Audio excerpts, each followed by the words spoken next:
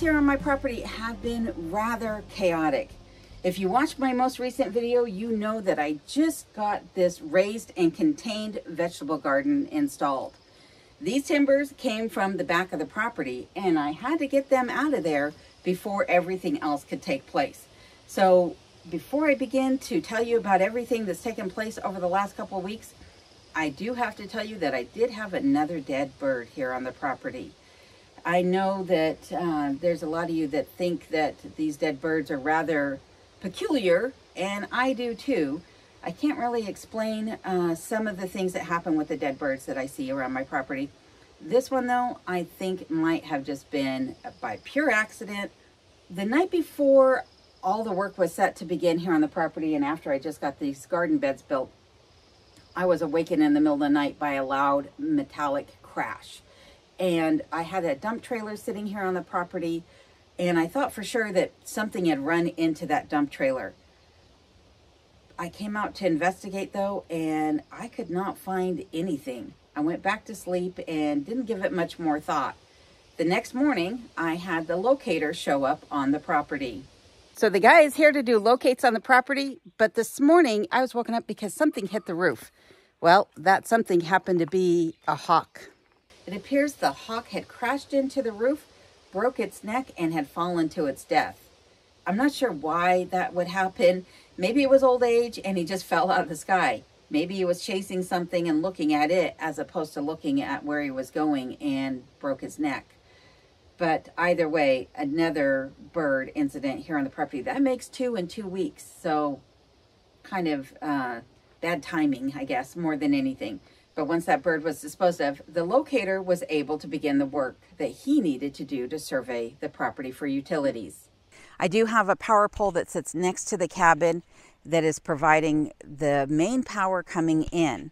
And then I have a private line that runs from the main cabin back to this bunkhouse that sits behind me. We have a couple of issues. One is is that that power pole needs to stay where it's at because it is active and there is a lot of power coming into there. It turns out that that pole actually has primary power to it. And that means that I have enough power off of here that I could supply anything I need to here on the property, which is awesome. And it also means that if I needed to add additional power to, say, the future shop, I don't have to call in the electric company to do it. I can have a private contractor run the taps directly off that pole. One issue that that provides is getting all these trees down without damaging any underground wiring because the depth on that wire is 18 inches. It should be anywhere from 36 to 48 inches deep, but it's not. So luckily for me that when that power pole was put in, it got the top of the line installation. And that means that I have enough power coming into my property that I could subdivide this lot and build 50 additional homes on this property if I wanted to and be able to power all of them. Don't worry, I'm not going to do that. I have no plans of selling or moving or anything like that. I'm here to stay. But what it does also mean is that when I build anything else on this property, such as my future shop, I'll have enough power going into that shop to provide my electrical needs for whatever I might want to do in there. But we have a couple of issues. So not only is the line going from the main power pole to the main cabin very shallow, but as it makes its way from the main cabin to the bunkhouse, it doesn't get any better. In fact, it gets worse. So as you can see, the power line is running right across the driveway here and going up into the bunkhouse. The issue that I have is right here. The power line here is only about five inches deep and if it's gonna fault, it's gonna fault right there and the other thing is, is that where it's coming into the bunkhouse, right there on the cable itself is indoor tape on this hot wire. So all of that needs to be repaired. It's about nine inches coming out of the main cabin and when it gets to this point right here, it's only five inches deep. This means that as the ground heaves due to frost or if a vehicle were to come through here and get stuck or drive a rock down into that area, there's a chance that that line could have a fault in it. The line would remain hot and it means that I could lose the bunkhouse as well as my main cabin due to an electrical fire. This is where the private line runs from the cabin going to the bunkhouse. There's a couple of issues with this. One is it is sitting so tight up against the edge of the cabin that if there was any movement in this cabin, say due to an earthquake, it could potentially slice the exterior uh, protective coating or coaxial part of the electrical line and expose the wires that are in there, leaving them to be live and hot, and therefore I might lose my cabin to an electrical fire. So that needs to be remedied. One other thing is, is that as the line progresses away from the cabin, making its way to the bunkhouse, it's very shallow. It's only about nine inches deep right here in front of the cabin, and it gets more and more shallow as we go that direction. Last year, when I had the roof replaced on the cabin, the front support beams needed to be replaced all four of these logs came from the property and the new supports were hand dug. Luckily, we did not have a fatality because the main electricity line that is coming out of the cabin runs actually through the hole that was dug for this post. Now, this was all hand dug, but even though it was hand dug, there was the potential that somebody could have struck that line with their shovel. Had they done so, they would have been electrocuted. So let this be a lesson to you that no, regardless of the amount of work that you're doing on your property, even if you're hand digging something, you should call for locates. I wish we had called for locates last year uh, because the guys would have been a lot more cautious than they may have been. Luckily, nobody was hurt, but my estimation is is that they were probably right on top of that line. One other thing is, last year when the work was done, they discovered this line here that is cut. As the next locator came out, he showed that there is a line that was running right in conjunction with that cut line right there to the bunkhouse. That was the phone line running to the bunkhouse. So, luckily, they're upgrading the services in this area, and that means that when they come out to install the new lines to my home, I'll also have them install a new line to the bunkhouse. But again, it just goes to show that without locates, you don't know what you're going to hit. So do your locates. So enough ranting about the locates and how shallow the line is here on the property. But it does mean is that I need to get an electrician out here, not only to retrench the driveway and run that new line and correct any faults and issues that there are between the connections, but also because I need to have some new breaker boxes installed in the cabin and have the cabin rewired. There's live lines in the cabin that are exposed. I've since capped those off and taped them off so that they can't be uh, handled or bumped into, but nonetheless, they're there and they need to be remedied. As well as the lines should really be in some conduit so there isn't an accident where you accidentally knock something into it and wind up cutting through the coax and hitting that live line and causing yourself to become electrocuted. I'm talking about myself here. Um, so, getting the cabin rewired, getting new breaker boxes put in, all of those things have to be done. All right, enough about that. Let's talk about some of the other things that took place here on the property after the surveyor left.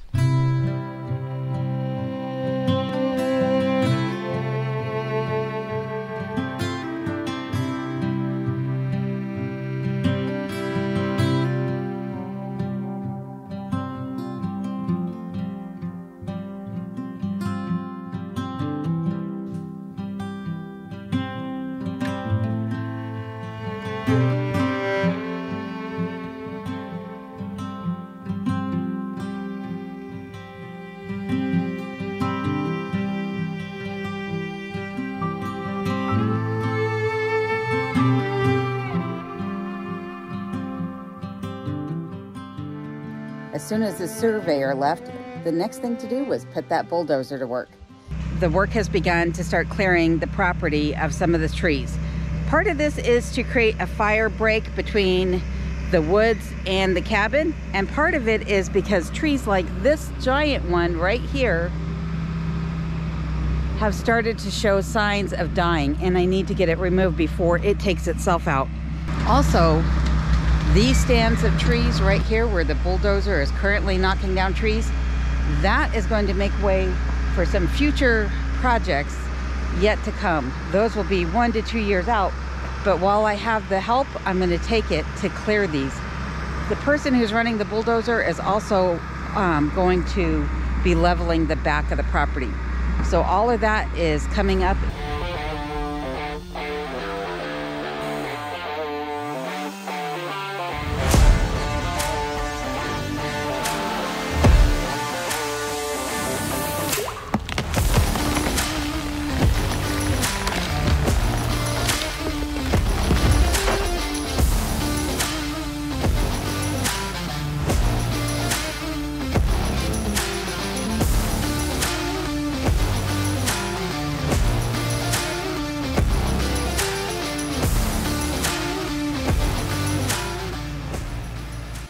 going to sell that tree for lumber.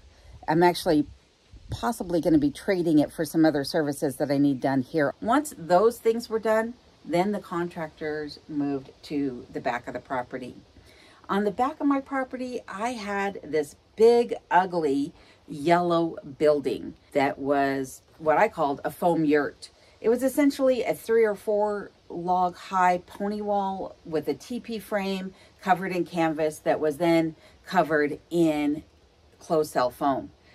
It had old car windows in it that had been busted out as the windows for the building. Um, the previous owners had used it as a chicken coop and it was very untidy in there. It wasn't really usable. It had many leaks coming in from the roof and was starting to show signs that it was going to come down on its own. So my contractor took the bulldozer to it and got that cleared out of the way.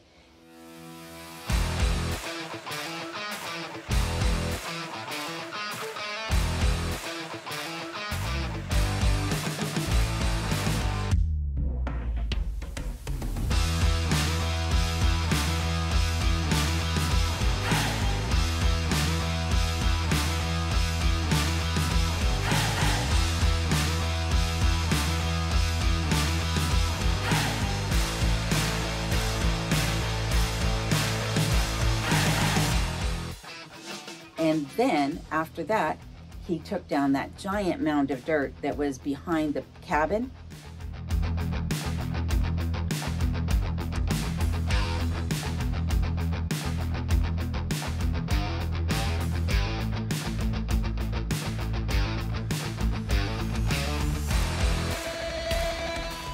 That mound of dirt came out from underneath my cabin when they built the root cellar. This cabin was built in 1970 and it did have some sort of a basement in it at one point because the wood stove that I used to burn my garbage in used to be the wood stove that heated this cabin and it was located below the cabin itself.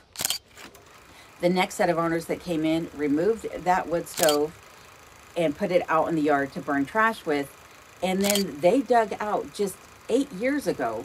So again, many, many years after this cabin was built, they dug out a full basement underneath the cabin itself. It's not truly a basement because it doesn't have any means of egress other than the hatch to come in and out of it. So essentially it is truly just a cellar. It's a very large cellar though, being 30 by 30 feet in uh, dimension. But all the dirt that came out from underneath the cabin when they put that in, that all went behind the cabin and it's sat there for the last almost decade. And so luckily my contractor was able to take his bulldozer and level that mound of dirt and push it towards the back, which will provide me an area that I can set up as my shooting range and also remove that eyesore of that mound of dirt. Once that was done, then he began to do work on clearing the old garden. So there's the greenhouse and the security camera that I was showing in an earlier video where I was saying that there was no line of sight over towards the cabin. Well, there's the cabin and that big stand of trees. And thank goodness the bulldozer is making its way through the garden now and clearing all of this mess away.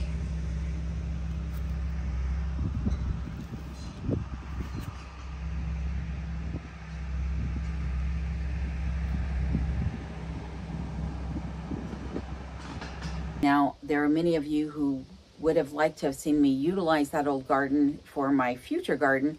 However, it really wasn't in the best position for what my plans are for this property. For one, it was overrun by grass and tree roots that just made the beds unusable. I would have had to dig it all out anyhow to plant in it. And it was easier to have it bulldozed than it was for me to do that work. As I mentioned in a previous video, the kitchen garden is actually going to go right outside the back door. I had that back door put in last summer thanks to another set of contractors that I had out here on my property. And that means that I'll be able to just walk right out that door and get whatever vegetables I need for cooking. In addition, I'm going to have a outdoor kitchen built right next to that garden. Those things will be right outside the back of the cabin. But then where the garden was, that might actually be the home of my future workshop. the life of a supervisor. Here I am sitting in my comfy camp chair watching my contractor knock down trees.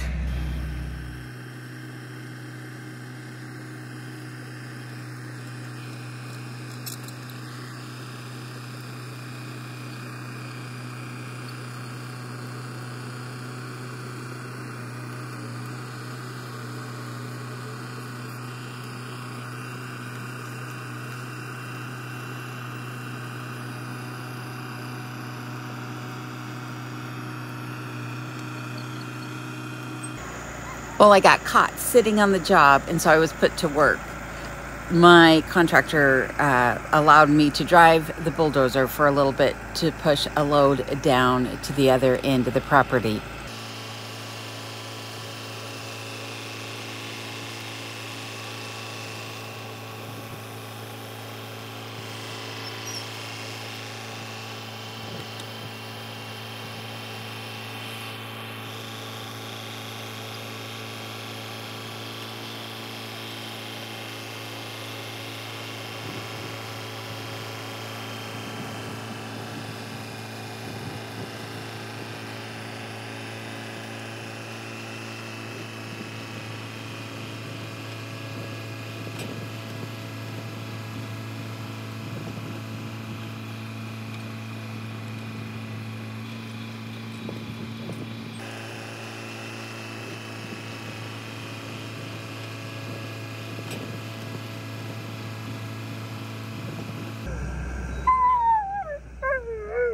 Kenai, on the other hand, he was not happy about it.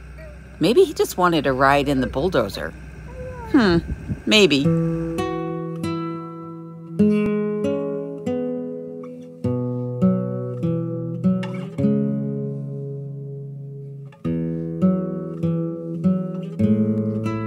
So I decided to get out of the cabin today and I'm going down to Valdez where I'm going to hit a couple of the consignment or thrift stores and just see what they have. Just get out of the cabin and off the property for a bit, get away from some of the craziness that's going on there, and enjoy a day in Valdez.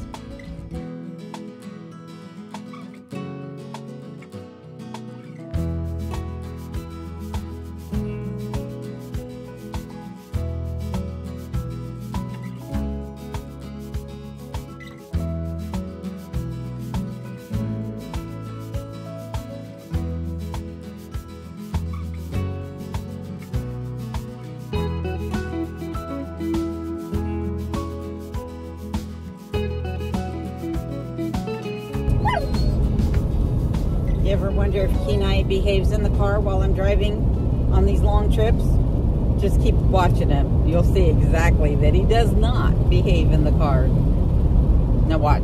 I start filming and he'll lay down because he knows the camera's on.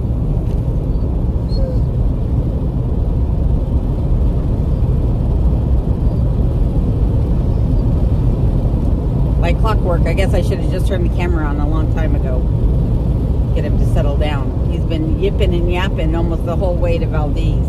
We did get stuck in construction a couple of times, and I just want to say thank you to all the construction workers, from the flaggers to the ones running the heavy equipment. It's kind of a pain to sit in the traffic uh, that's congested because of the construction. But honestly, if it wasn't for them, these roads would not be passable. So thank you to all of you who are working for the Department of Transportation here in Alaska.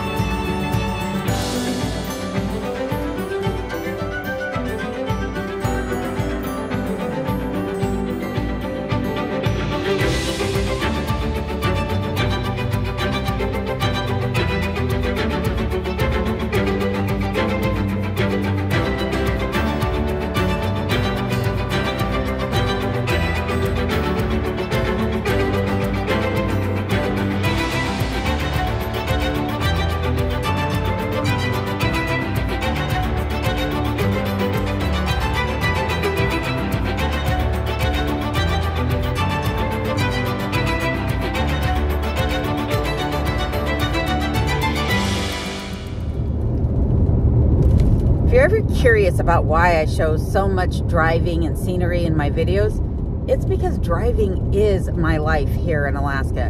During these summer months is my time to resupply and to get things that I might need.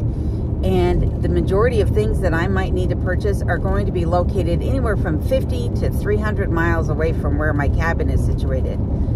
So honestly, I'm only showing about 0.5 percent of the actual amount of driving that I'm doing. In the winter months, I do stay put, so this is my time to stock up.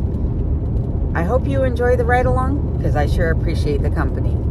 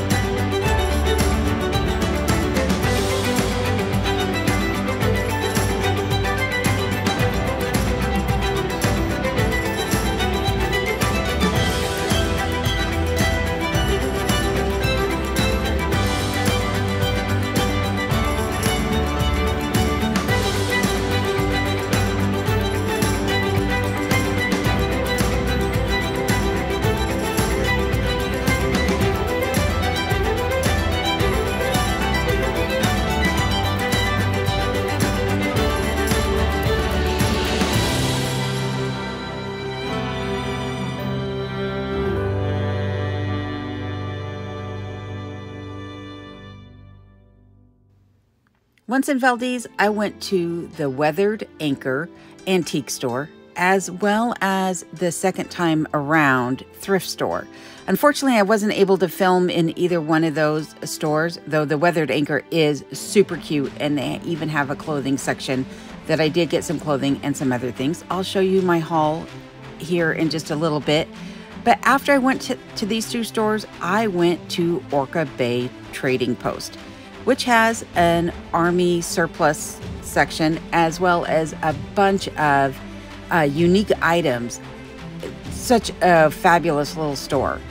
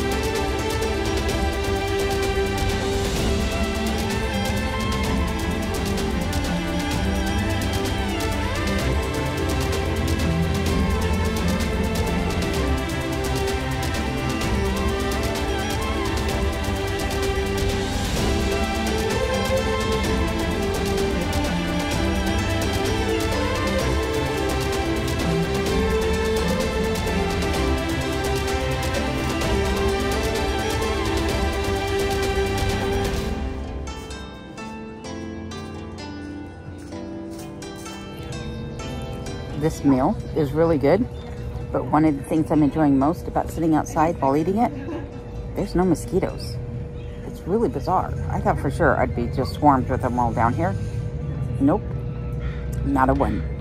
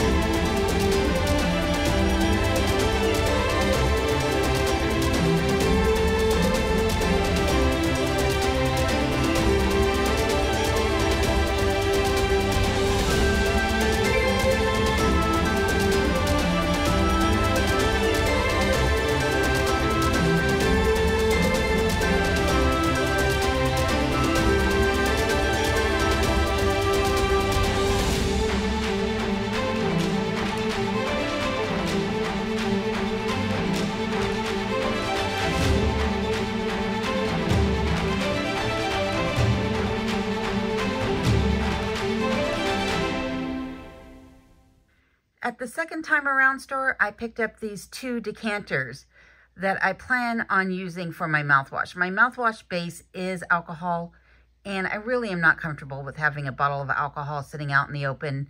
I'm not a drinker and I don't really want people thinking that I am. And so I'm going to disguise my mouthwash by putting it into one, if not both of these decanters. And then I picked up this cute little candle lantern. I think it's adorable. And then at the Weathered Anchor, I picked up these two library desk lamps. I plan on putting these on top of the two dressers that I just picked up off of Craigslist. I know they don't match and they do need a little cleaning up, but they will work for up there.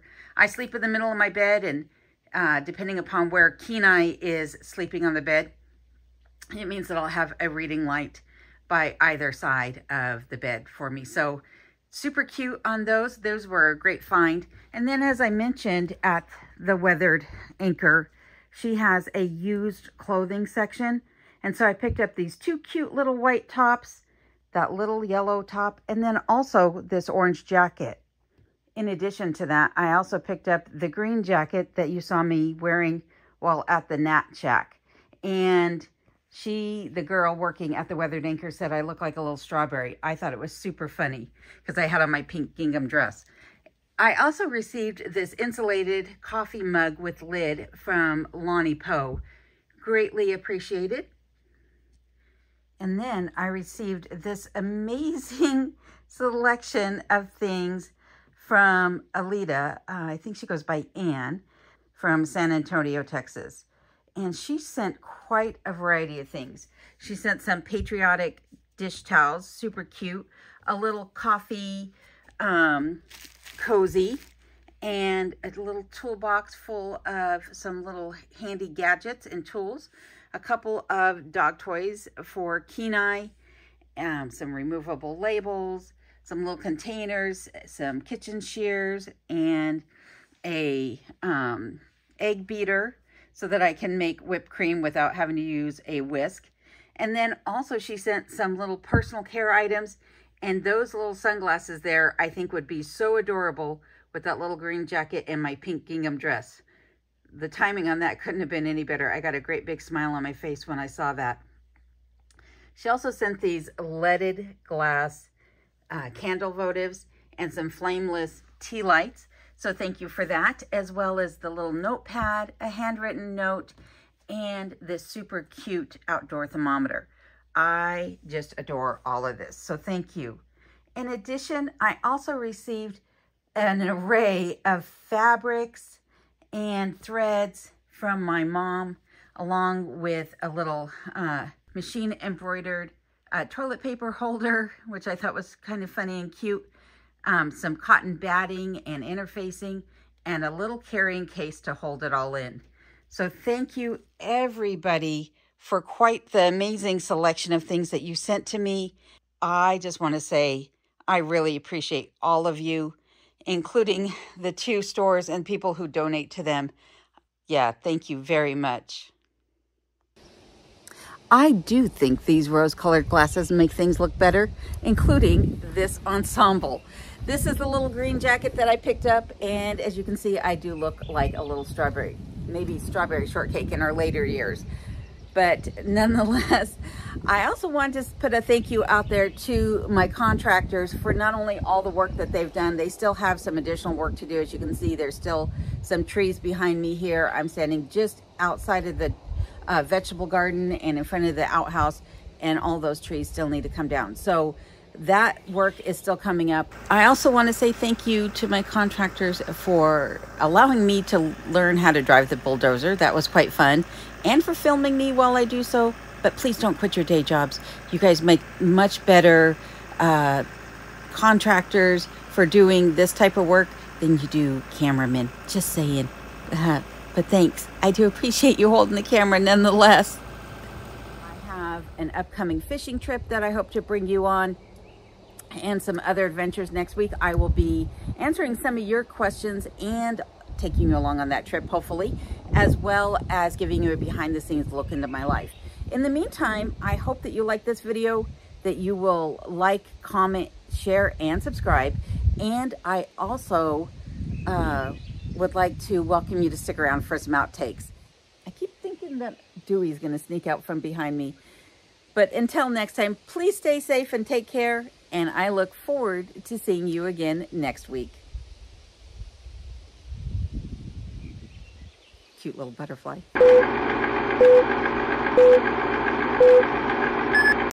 To another set of contractors that I had out here on site. Those contractors were able to put that door in as well as, um, yeah, I don't know what I was going to say there because there was a bee that flew in front of the camera and caused me to lose my train of thought. I'm talking way too much and I need to be moving. So let's move, shall we?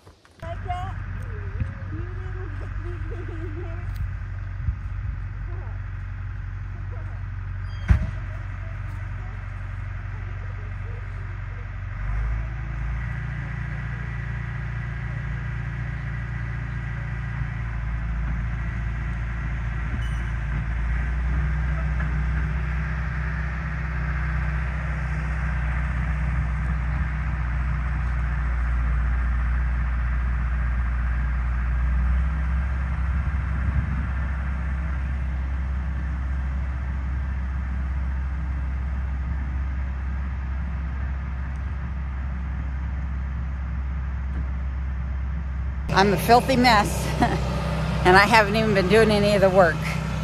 But uh, I'm still not. I'm gonna sit here and watch my contractor knock down trees. Kenai is such a spoiled dog, eating cookies in bed, making a mess at that. Yes, I'm looking at you.